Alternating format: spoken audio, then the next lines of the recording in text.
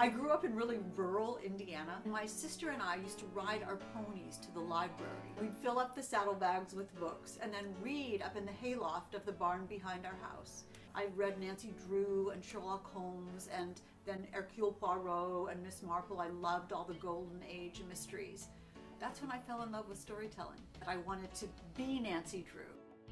I've been a television reporter for such a long time. I've won 34 Emmys for investigative reporting, and every one of those Emmys represents a secret that someone didn't want you to know, that I got to uncover and make public and reveal. In my books, everyone has a secret, and the question is, when will they reveal it?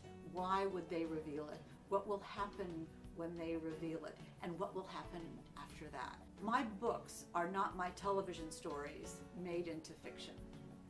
My books are a little bit of this experience and a little bit of that experience, put together those puzzle pieces in a brand new puzzle picture. When I write a character, I become that character. In my chair, in that manuscript, I allow myself to become someone else. And that is the magic. One of the hardest parts for me about writing is coming up with that central gem of the core of the idea of the book. What is my book going to be that's unique and surprising? That's hard for me. You can't make yourself have a good idea. I kind of trust the universe to provide the idea that I need at the time that I need it. And that's how every one of my books has started. I love domestic suspense and psychological suspense. I love narrative nonfiction. I'm reading Bad Blood by John Carreyrou about the Theranos scandal and Radium Girls by Kate Moore about the girls who painted the radium dials on watches. My husband is a criminal defense attorney. He'll tell me what a judge would say or what the law is or how the system would work.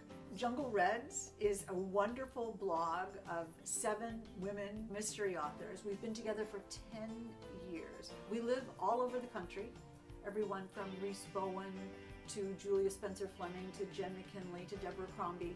Every morning we get to chat and share what we're thinking with the world. I've never been involved in such a long-term, loving, supportive group of writers. My goal in life, I try to be the best writer I can possibly be and then be better the next day and better the next day. And that's part of the joy.